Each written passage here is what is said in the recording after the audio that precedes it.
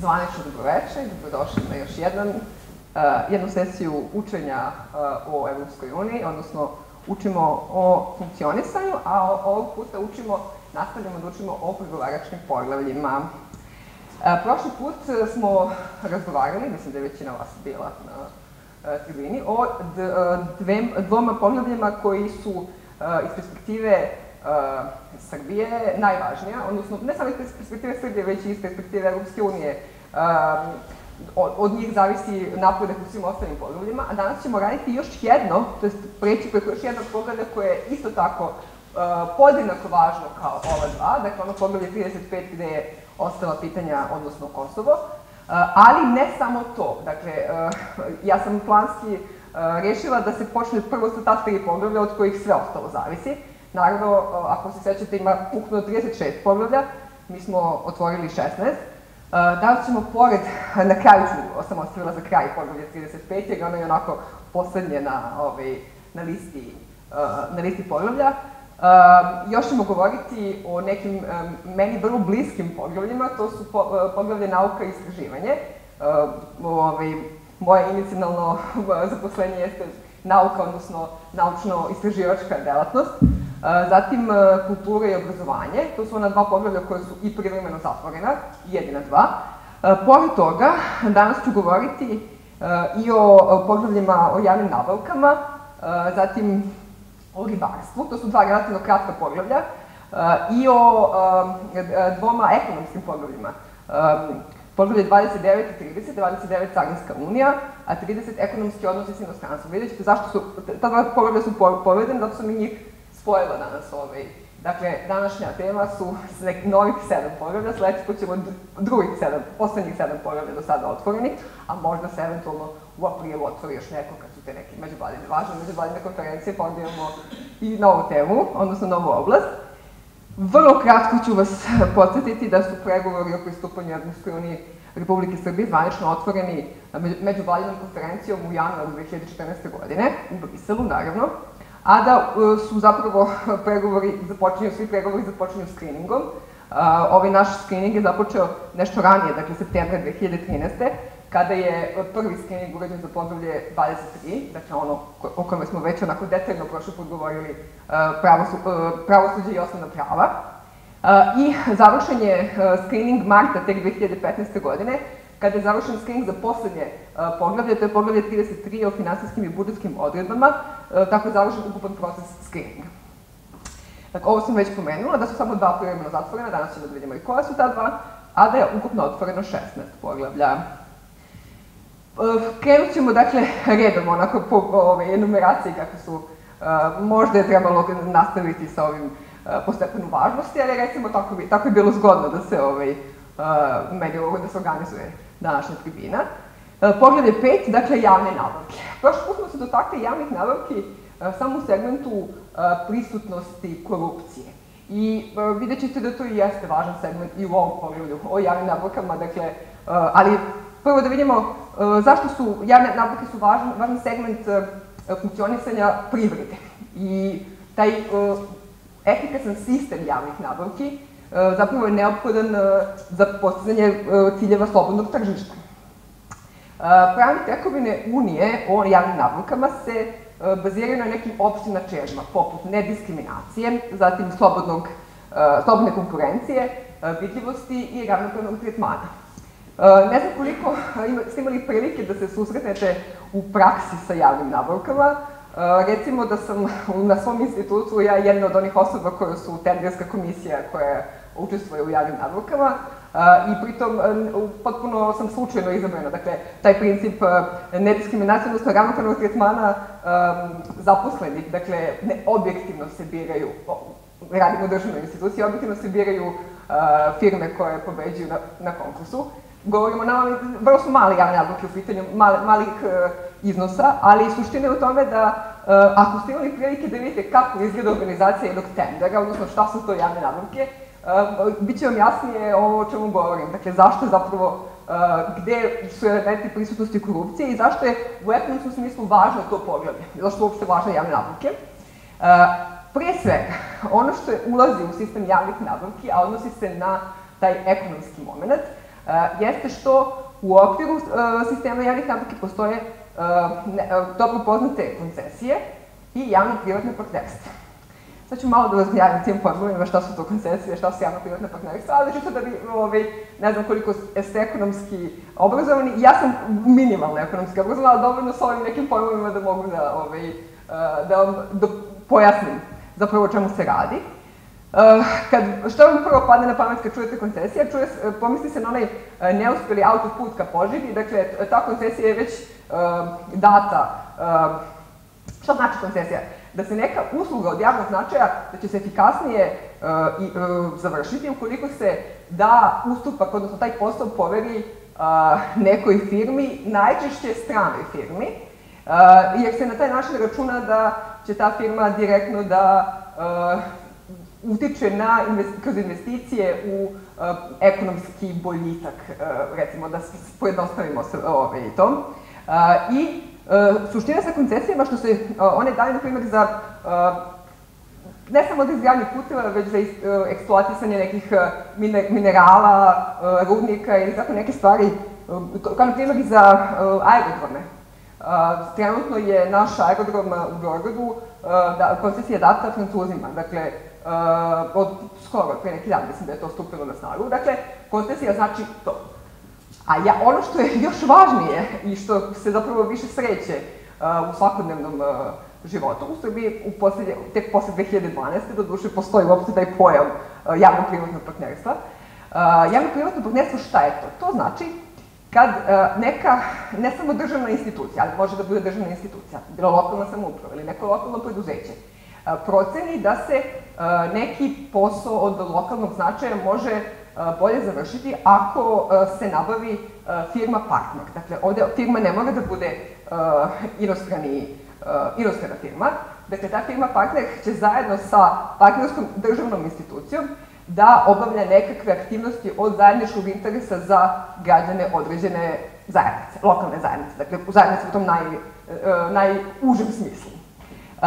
Kad ovako, konkretno u praksi, kako je slučaj u Srbiji sa tim javno-privatnim partnerstvima, od 2012. godine postoji komisija za javno-privatne partnerstvo.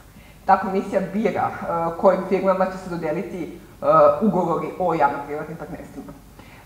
Gde, koje su to oblasti u kojima se dodeljuju? Pa to prvenstveno ima veze sa tim lokalnim problemima u smislu prevoza građana, zatim obnovljivih izvora energije, toplana, odlaganja otpada. Kao, zapravo, u, u, u segmentu odlaganja otpada to je i najefikasniji način da se reši odlaganje uh, otpada, da se napravi javno-privatno partnerstvo. I tu uh, najmanje firmi se javlja zapravo za javno-privatno partnerstvo koje se odnose na oblast životne sredine i na ta javno-privatna partnerstva. Uh, do prošle godine od, uh, ta komisija je dobila 62 ugovora o javno-privatnim partnerstvima uh, i um, samo 27 uh, ugovora je potpisano, dakle nisu svi, oni su, jesu odobreni, ali uh, dešavalo se kao sa deponijom u Vinči da su se uh, firme partneri predomišljale, da im se to nije isplatilo. Uh, grad, grad koji je dobio najviše ugovora, odnosno o, o javno-privatnom partnerstvu, jeste naravno Beograd, četiri, ali odmah iza njega Novi Sad sa tri, uh, Topola i Pirot su sa tri. I gotovo većina opština u Srbiji je dobila makar jedan ugovor. Pitanje je u kojim je uh, opštinama uh, realizovano. Ja konkretno ne znam u Novom Sadu zašto su ta tri ugovora, znam da su, i da li su svi realizovani, ali uh, o, za tih šest godina su uh, tri uh, ugovora odobrena uh, od komisije za grad Novi Sad. Uh, a, uh, naravno, uh, ta javno-privatna partnerstva, apsolutno firma koja će biti partner se bira na, javne, na tenderu kroz javne nabavke. Dakle, to je zapravo suština zašto su ti zašto te koncesije i javno-privatne partnerstva deo uh, poglavlja o javnim nabavkama. I vrlo su važne, naravno, shvatili ste koje je, koje značaj u tom ekonomskom smislu za uh, uh, rešavanje nekakvih komunalnih uh, problema na tom nižem nivou, odnosno koncesije na nekom uh, ge, uh, globalnijem nivou, na nivou države, dakle, te neke usluge koje mogu bolje da se izvrše. Videli smo da u slučaju tog autoputa neće bolje da se izvrše, ali recimo u teoriji bi trebalo efikasnije da se završe te usluge ako se da koncesija nekom uh, inostranom partneru. Srbija je u ovom poglavlju o javnim nabavkama dobila poziv da, da vodi pregovore bez merila za otvaranje. Dakle, ako se toga sećate, pričala sam o tome, nisu baš sva poglavlja bez merila za otvaranje, posebno gotovo sva imaju gomilu merila za tokom vođenja pregovora, a posebno za zatvaranje. Dakle, ovo je jedno uslovno rečeno lakše poglavlje i ono što je njegov glavni cilj jeste da se unapredi sistem javnih nabavki, jer kao što smo videli to je preduslov za opšti ekonomski razvoj države, u ovom slučaju Srbije.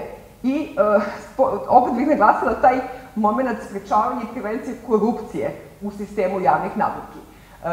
Problem sa tim, i sa javnim nabavkama uopšte i sa javno-privatnim partnerstvima, jeste u tome što u državi kakva je Srbija, pričali smo prošli put koliko je korupcija zastupljena, mali broj firmi će se javiti uopšte na takve konkurse, znajući da su oni već unaprijed dodeljeni određenim, predodređenim firmama. Dakle, to je ono što sistemski treba da se promeni u načinu razmišljanja. Dakle, javne nabavke su jedna vrlo korisna stvar i uh, ako sprečimo korupciju, pobedit će uh, na tenderima firma koja zaista ima najbolje uslove. Ono ravnopravan tretman, nediskriminacija, to je to. Dakle, uh, ali uh, još uvek u Srbiji uh, ne postoji uh, taj duh uh, verovanja u pravednost, odnosno poštenje, recimo, kako to da, da, ravnopravnost, da su svi ušnici na tenderima ravnopravni. A, time bih e, prešla na sledeće poglavlje, dakle, jedan gramati smo a, absolvirali. A, sledeće poglavlje jeste poglavlje 13 i zove se ribarstvo. Zašto je ovo, u čemu se radi zapravo u ovom poglavlju? Zajednička politika ribarstva obuhvata pitanja iskorišćavanja i upravljanja ribljim bogatstvima, pitanje uređenja tržišta ribljim proizvodima, pitanje nadzora i kontrole i međunarodnu saradnju u ribarstvu. Ova politika Evropske unije je jedna od najstarijih. Uh, veliki broj njenih država uh, su države koje izlaze na više mora i kojima je jako važno to pitanje uh, ribarstva, odnosno te zato i nastala zapravo zajedno sa poljoprivrednom politikom je nastala politika ribarstva, pa su onda njih dve podelile kasnije kasnije godine, zapravo 90. godina tek, ali u startu su nastale zajedno poljoprivreda i ribarstvo. Ta politika se, dakle, vrlo često reformiše, na svakih 10 godina, kao odgovor na neke globalne trendove, odnosno promene koje se odnose na količinu ribe i na opšte privredne prilike u ribarstvu. Bez obzira što Srbija nema izlaz na more, pregovori u ovom pogledu će se odvijati isto kao da, kao da ona zapravo ima more. A o čemu se tu radi?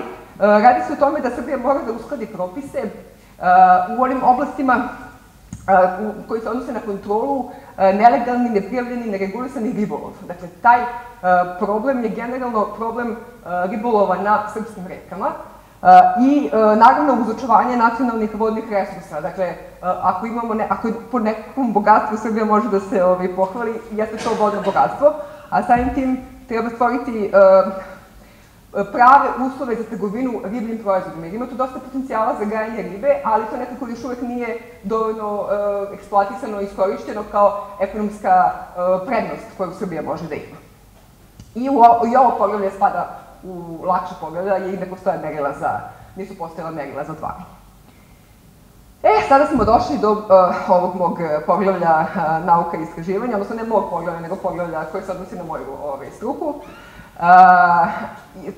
Poglavlje 25, kao i poglavlje 26, su, ponovit ću, dva jedina poglavlja koje su privremeno otvorene i privremeno zatvorene. Pa ova politika nauke i istraživanja ima cilj da se stvori jedan naučni i tehnološki sistem koji je važan faktor održivog prirodnog razvoja. Kada govorimo o pravnim tekovinama Unije u oblasti nauke i istraživanja, možemo da ih podelimo u dve grupe. Prvo su one tekovine koje se odnose na stvaranje evropskog istraživačkog prostora, a sa druge strane to su mere da se primeni okvirni program za istraživanja inovacija Horizont 2020. Pojasnit ću šta je evropski istraživački prostor i šta je Horizont 2020. Ono što je značajno jeste da te pravne tekovine Unije ne zahtevaju prenošenje pravila u domaći pravni poredak, već uspešno sprovođenje ovih pravila znači ispunjavanje uslova koji su neophodni radi učešća u ovim programima istraživanja. Naravno da su neophodni dobri kapaciteti ali neophodna je i izvrsnost u nauci, to je ovako jedan subjektivni kriterijum kako se meri iz, izvrsnost u nauci, a posebno kako se meri izvrsnost u društvenoj nauci kojoj pripada i moja, moja struka.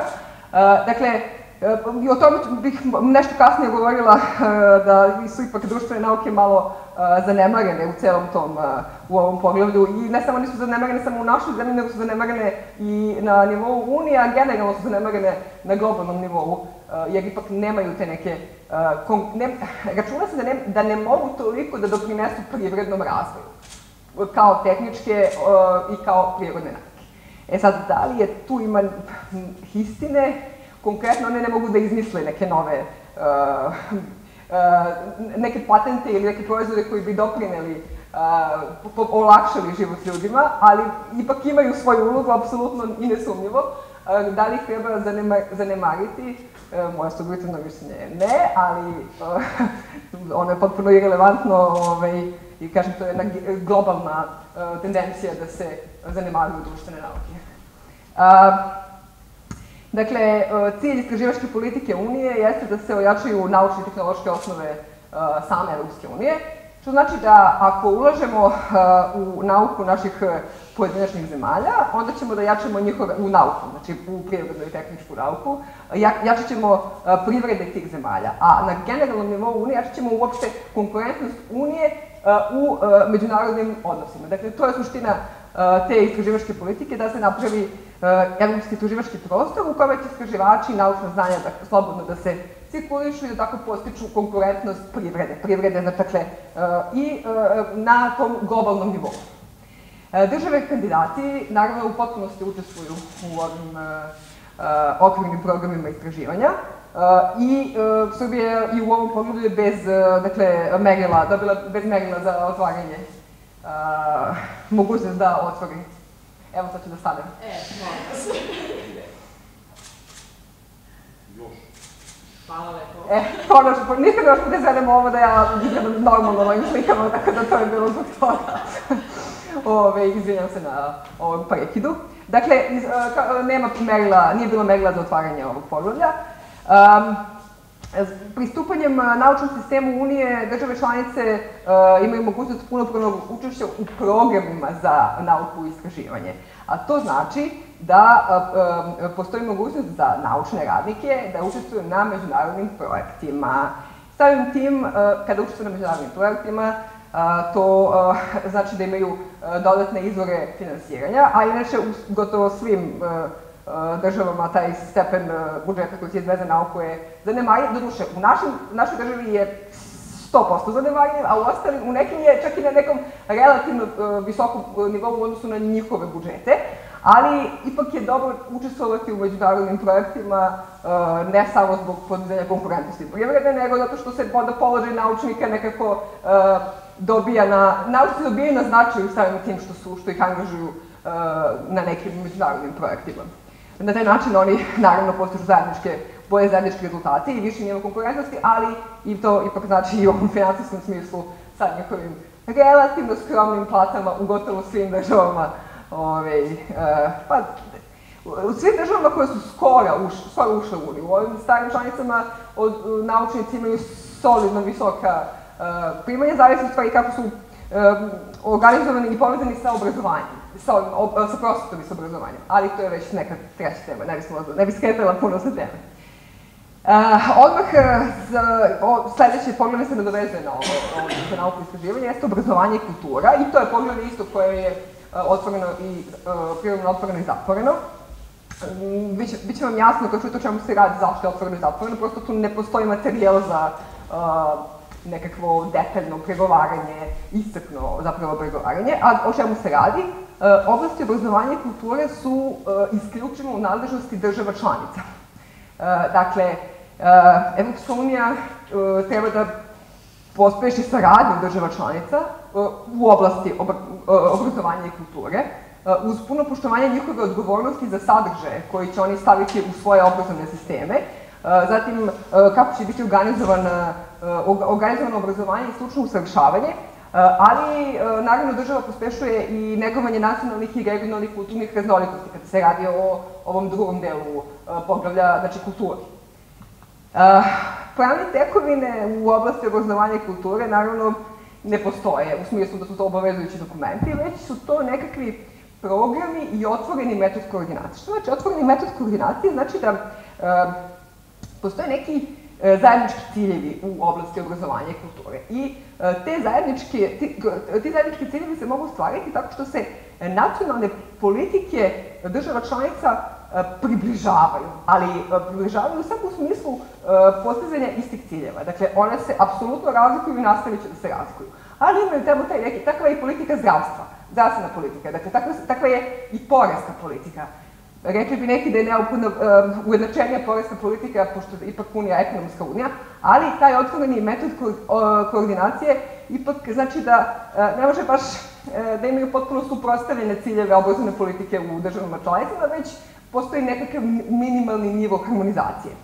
E, takođe, ono što je zajedničko za sve države članice, jeste da mogu da omoguće obrazovanje dece radnika migranata koji dolaze iz drugih članica i da spreče diskriminaciju državljena članica Unije. Dakle, to je jedina stvar o kojoj treba voditi računa u oblasti obrazovanja. Mislim, jedina stvar pored ove harmonizacije je prosto da ne budu uh, diskriminisani, uh, diskriminisana deca radnika migranata. Kada je reč o kulturi, tu postoji jedna, kada je reč o pravnim tekovinama, postoji jedna UNESCO-va konvencija o zaštiti i posticanju raznolikosti kulturnog izraza iz 2005. godine, koje su države članice Unije ratifikovale i to je znači ključna, ključni dokument uh, u vezi, u, u oblasti kulture. Uh, naravno i ovo poglavlje je otvoreno bez merila uh, za otvaranje, a sad ćemo da se dotaknemo nečega što je vam vjerojatno poznato, Erasmus Plus program. E, u okviru ovog našeg dela obrazovanje postoji nešto što je evropski program Erasmus Plus, Erasmus Plus je program koji se odnosi na eh, stručno usavršavanje, odnosno obrazovanje mlade i sport. Dakle, iz eh, svih država članica i država kandidata mogućnost cirkulisanja mladih povod, znači, bilo da su to omladinske organizacije, bilo da su sportske organizacije, bilo da su to učeni, učitelji, nastavnici, profesori, pa onda studenti, doktoranti, istraživači, dakle, u svim nivoima, na svim nivoima obrazovanja, kao i mladi i mladi sportisti. Uh, sigurno ste čuli ili poznate ljude koji su uh, išli na nekako uh, doškolovavanje, odnosno na nekakvu praksu kroz Erasmus Plus program. Uh, ono što je uh, interesantno je da taj Erasmus funkcioniše tako što uh, postoje nacionalne agencije uh, koje kontrolišu kako se zapravo dodeljuju ovaj, te stipendije, jer ipak radi se o velikom novcu, naravno komisija kontroliše rad tih nacionalnih tela i prosto danas Uh, ako pitate studente uh, kojim je cilj, to je da u okviru nekadašnjeg tempusa, odnosno Erasmusa, odu negde i da na šest meseci, mislim da šest meseci maksimum boravka u nekoj egzotičnoj državi Evrope i da po mogućnosti ostanu tamo, ovaj, pošto mi se već pruža prilika da mogu da ovaj, učestvuju u, u skoro je Erasmus Plus potpisan pre mesec dana zapravo zvanično je ovaj, Srbija postala član Erasmusa Plus pre toga bio samo Tempus.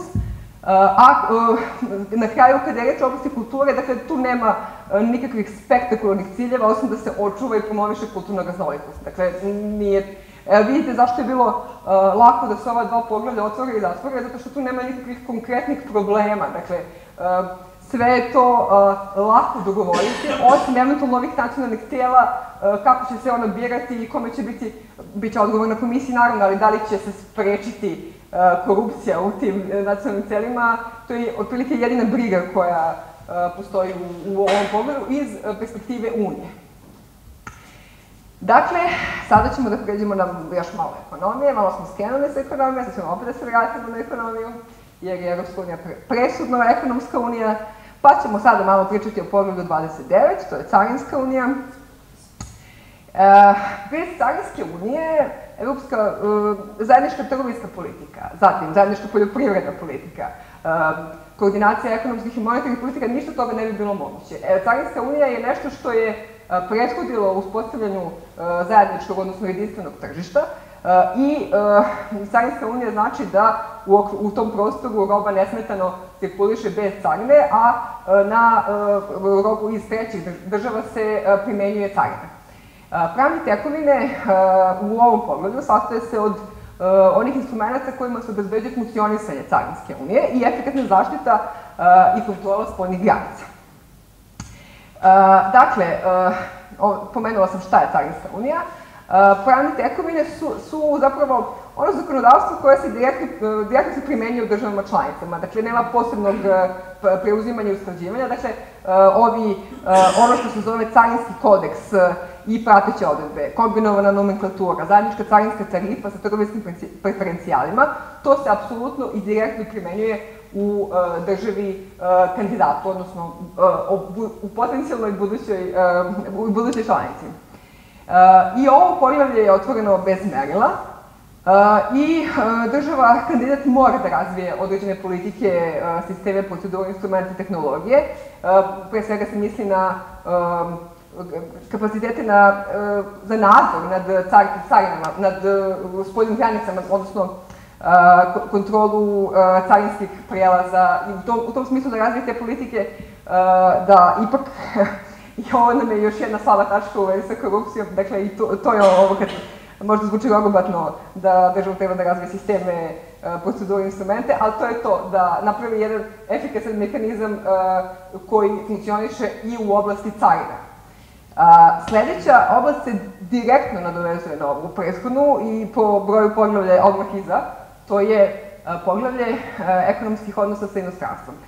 Ovo poglavlje izaziva u, našem, u našoj državi kontroverze, u smislu što kad se kaže poglavlje zajednički za ekonomske odnose sa inostranstvom, misli se na svetsku trgovinsku organizaciju. I to je tačno da se misli na svetsku trgovinsku organizaciju.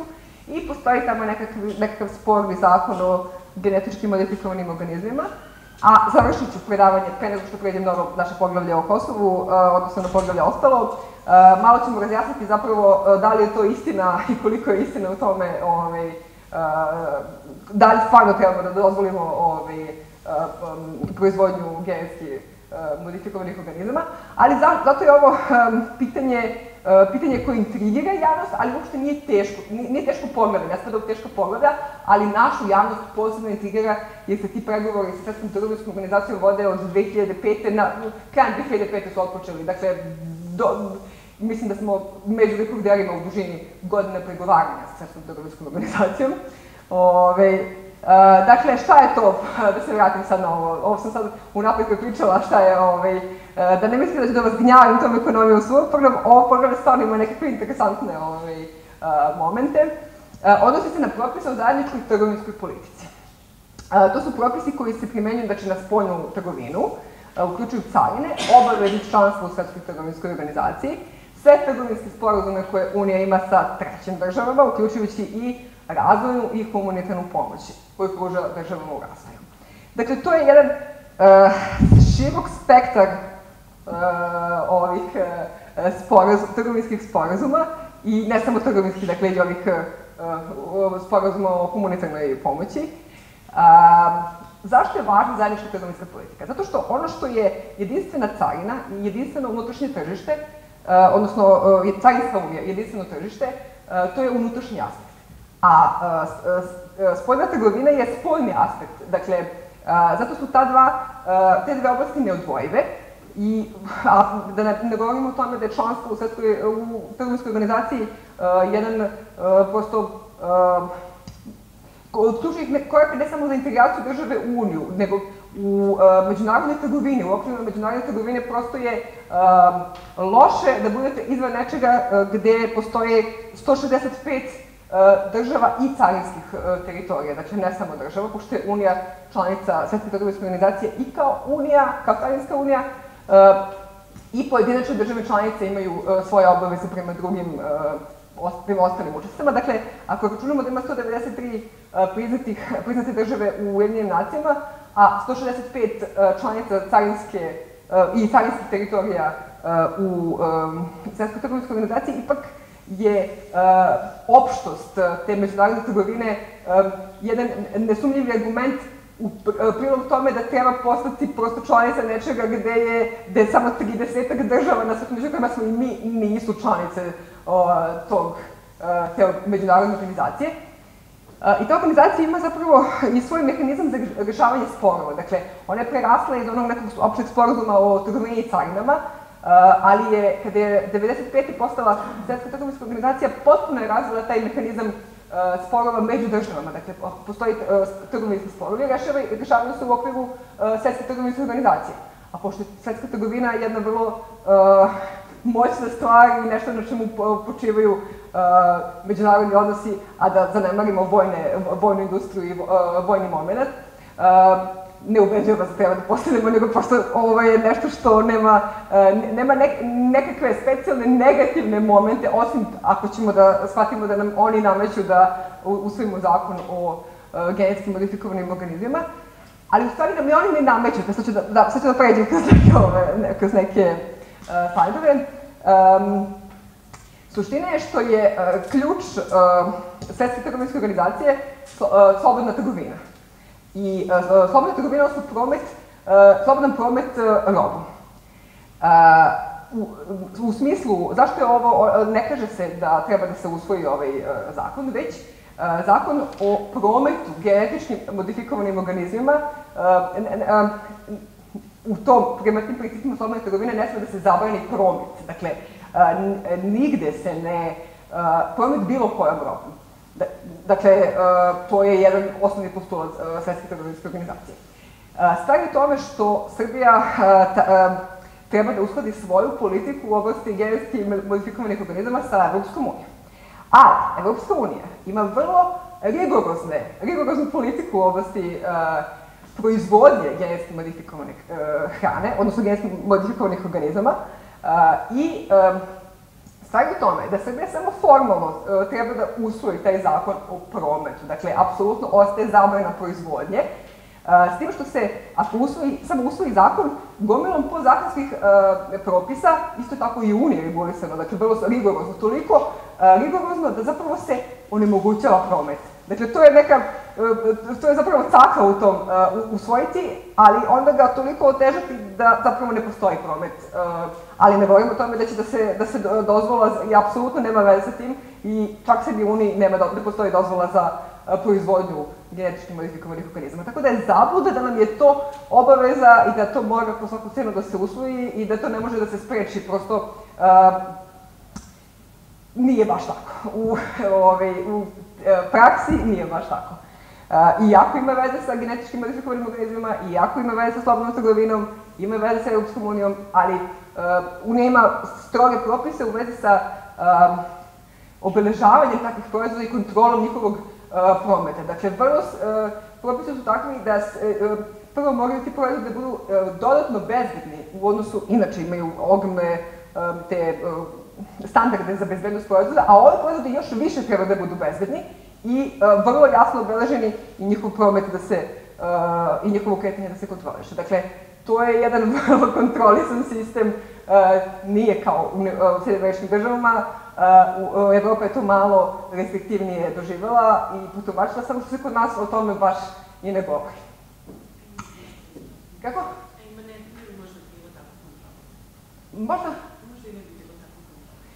E, pa možda ne bi, ali ako bi se ovim dodatnim propisima ograničilo uopšte promet, mislim, ako bi se stavilo na minimum, onda ne bi bilo ni potrebno da se kontroliše, jer bi faktički se samo ukinulo, ali formalno bi postojalo. Dakle, to je, eto, Unija je našla formu kako da E, da to bude dozvoljeno, a zapravo da ne bude dozvoljeno. Eto, to je ovaj jedna...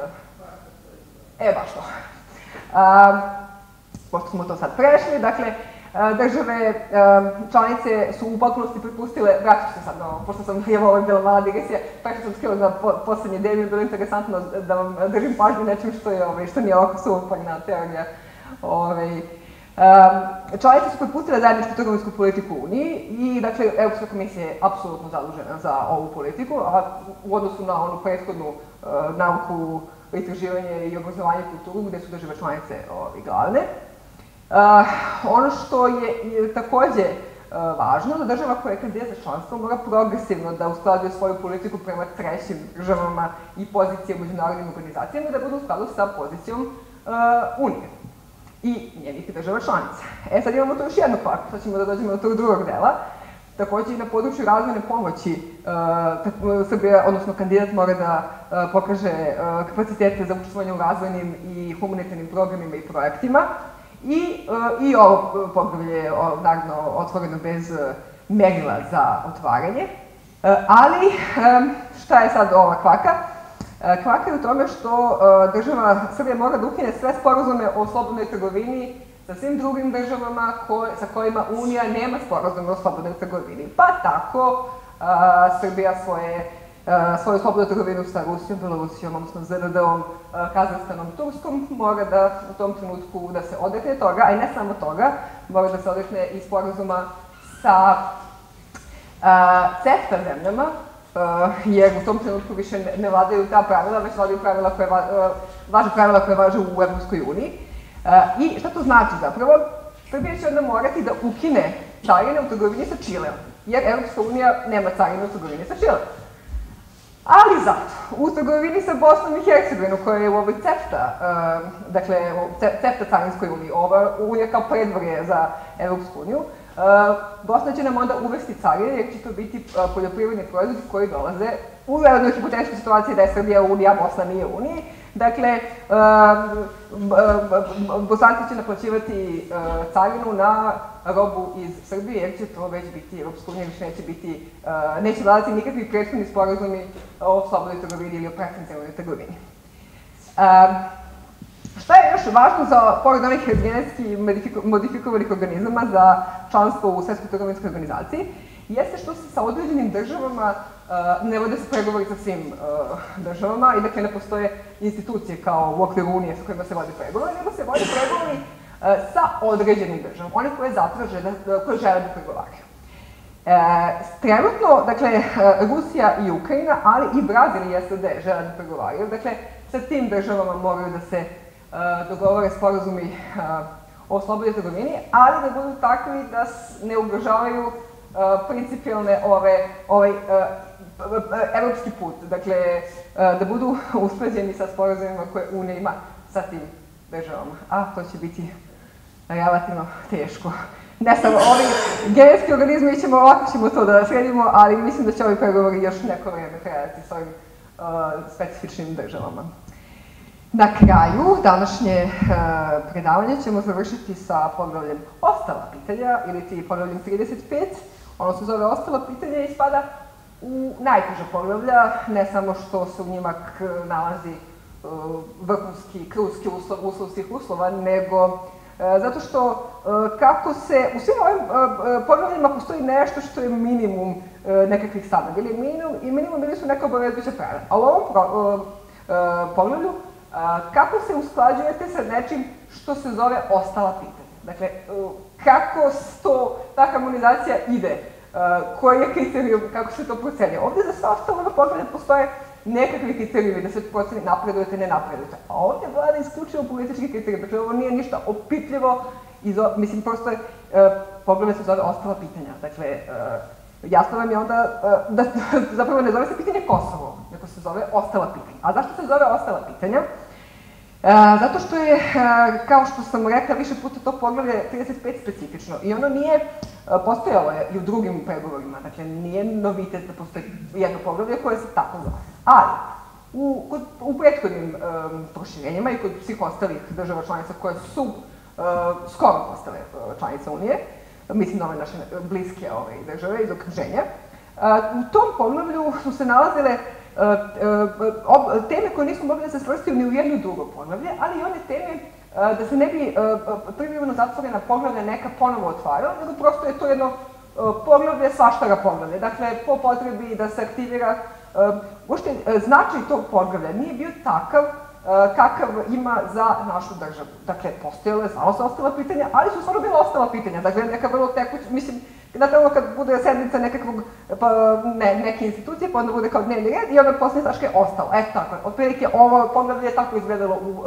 prethodnim ovim proširenjima, a ovde u slučaju Srbije dobilo nekakvo drugo značenje, kao što je obično dobija razne neke značenja, razne stvari na primjeru Srbije imaju drugačije značenje nego ovaj, na, u drugim slučajevima, ali dobro, sad nećemo, možemo da na pitanjima to o tome razgovaramo. Um, da, ovo smo prešli. Um, I u ovom pogledu, kao što neka nema definisanih pravnih tekovina, ne, ne postoje tekovine sa kojima se treba uskladiti i ne samo da je teže, nego i najteže.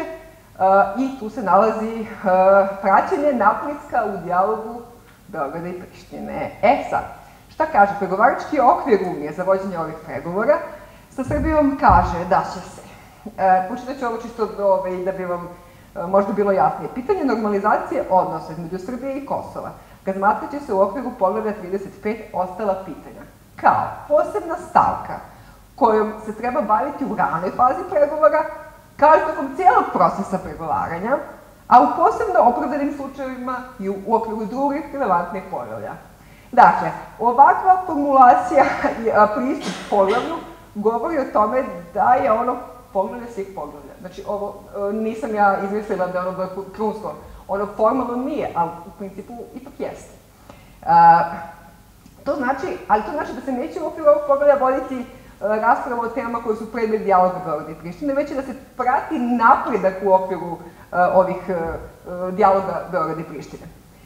Uh, to znači, ovo što sam malo pročitala, uh, da će se voditi tokom pregovora, ranih pregovora i biti presudno, znači da će uh, poglavlja 23 i 24 zajedno s ovim poglavljem 35 biti uslovljavajuće poglavlja za napredak celokupnog procesa pregovaranja o pristupnim pregovorima.